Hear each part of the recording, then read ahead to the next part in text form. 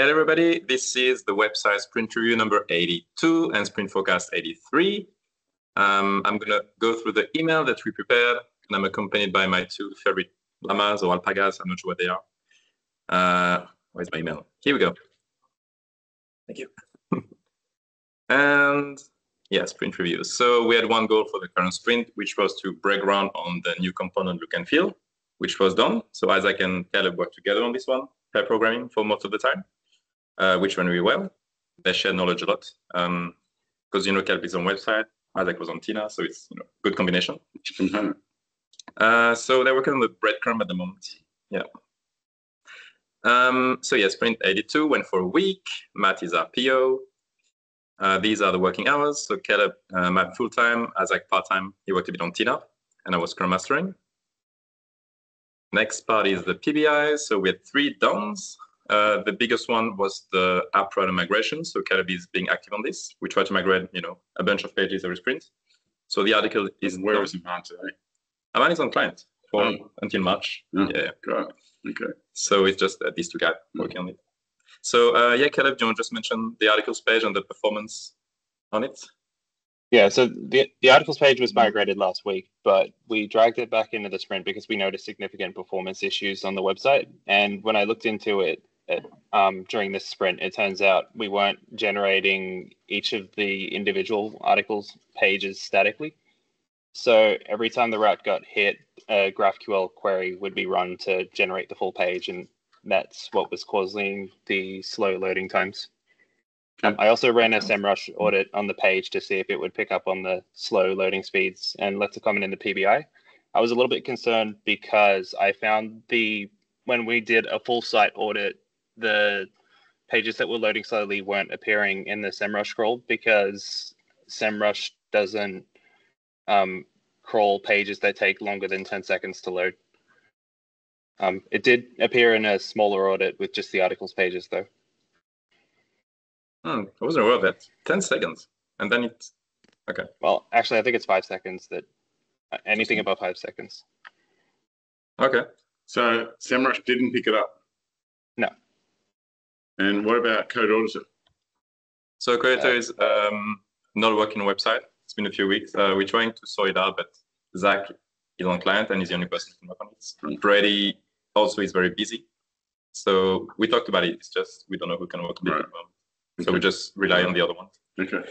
But it's it's in every sprint, like we we mentioned it, and we it's active. Um, yeah. Any other PBIs? So these are just smaller work we've done. Um, small bug, and these are the big ones we're working on for the next sprint, which are the new components on the website. Next is our performance. So on website, we're up to 62, which is what we're used to. Um, we worked on the total working time before. It's just a bit big, but yeah, it's, it's always up and down. So yeah. Um, on desktop, it's at 72 too, so that's also quite good. SEMrush, uh, similar to last sprint, the numbers has almost not, not changed at all. Uh, we're 70% health, I'm showing the comparison at the bottom of all the numbers. And as you can see, between the two sprints, it's very consistent, uh, which is good given we don't work on performance. So it's good to see that nothing goes wrong. Next one is a Google Search Console. So non-index pages and index pages. Again, the numbers are very similar compared to last week. Not much change over there, um, which is good news too. Pair requests, uh, what we used to, so 33K for the sprint. Most of them, 24K are coming from these bots, uh, which we discussed in the past and nothing we can do about it.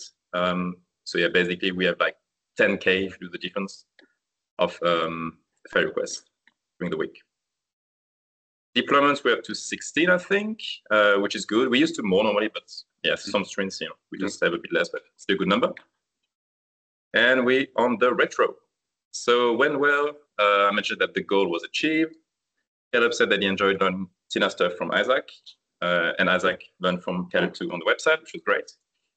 Uh, and pair programming also helped uh, to fix problems together. So yeah, it was really efficient, basically. Uh, didn't go well. Matt uh, mentioned that he expected a video regarding the status of the breadcrumb because he was basically part of the goal. Mm -hmm. So he wanted to see the status before the review which makes sense. Yeah. And Isaac said that he enjoyed pair programming, but he felt like he was more efficient when he was working on his own and when they reviewed work together yeah. afterwards. Uh, Matt Right. still thinks that they should keep doing pair programming until they both have the same workflow. Yeah. Yeah, so they Yeah. keep doing this. Uh, in terms of improvements, uh, video, so just making done videos when possible, because we didn't have any for the current sprint. And also when not expecting to reach the targets, mention it in the day scrum so that it's not a surprise on the review. Yeah. So, yeah. Yeah. Anything you want to add? Um, yeah, I think the tick and flick or uh, idea, um, if you show Matt where it's up to Yeah. before the sprint, Yeah. um, or when things are up to, uh, the sprint review will go faster, Correct. And then he, then he wouldn't be asking you for a done video. I should put your name next to this one. Mm. Okay, makes sense. Anything from you? Yeah, no. Cool, cool. Alrighty, let's move on to the forecast. And here it is. So for the next sprint, uh, we want to focus on these new components. So the goal would be to finalize the image text block component, which is this PBI over here. So I'm just gonna bold it so we know it's the main goal. Um, and obviously finishing the other one, which is a breadcrumb. And also, yeah, keep as you can see, it's mostly new components we want to focus on. And have one page migrate again. So bit by bit, we're hoping to get everything migrated. Um, and that's about it. Any other comment from you guys? All good. Adam? All right, cool. Thank you, everybody. As usual, this is going to be uploaded to our web YouTube channel over here. Thank you for watching this recording and see you on the next one. All right. Bye bye. Hey. Four clicks to stop the video.